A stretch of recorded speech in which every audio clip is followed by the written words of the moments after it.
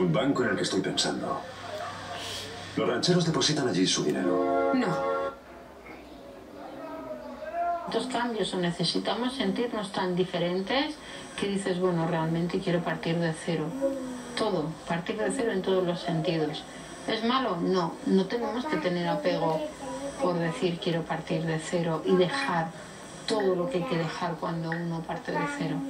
Pero cuesta, lógicamente cuesta, depende también de si ese partir de cero implica romper relaciones, alejarse de personas queridas o no. Estamos hablando de partir de cero, pues vivir en otra casa, vivir en, de otra, en otra ciudad, en dedicarnos profesionalmente a otra cosa, tantas cosas que son partir de cero sin romper